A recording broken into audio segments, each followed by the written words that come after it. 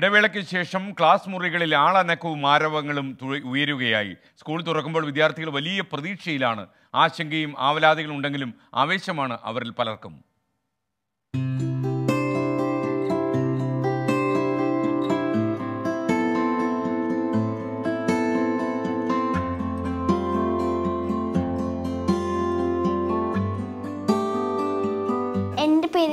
കീർത്തന വിവേക്. ഞാൻ അഹങ്ക സ്കൂൾ മൂന്ന് എയിലെ ക്ലാസ്സിലാണ് പഠിക്കുന്നത്.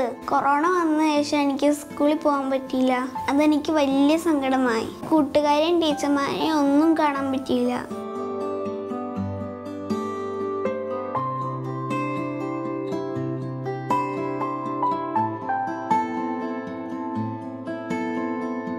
കഴിഞ്ഞ ദിവസം ടി വിയിൽ കണ്ടിരുന്നു മന്ത്രി ഇപ്പോൾ പറഞ്ഞ് സ്കൂളുകൾ തുറക്കാൻ പോവാന്ന്. ഒത്തിരി സന്തോഷമായി. ഇനി ഞാൻ സ്കൂളിൽ പോകും.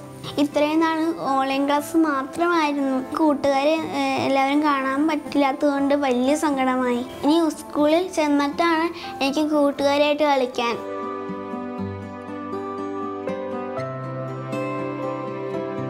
സ്കൂളിലോട്ട് തന്നെ എല്ലാ കൂട്ടുകാരും ഒരു കാര്യം ശ്രദ്ധിക്കണമേ. മാസ്കും സാനിറ്റൈസറും ഉപയോഗിക്കണേ. എന്നാലേ നമുക്ക് കൊറോണയെ ഓടിക്കാൻ പറ്റുള്ളൂ.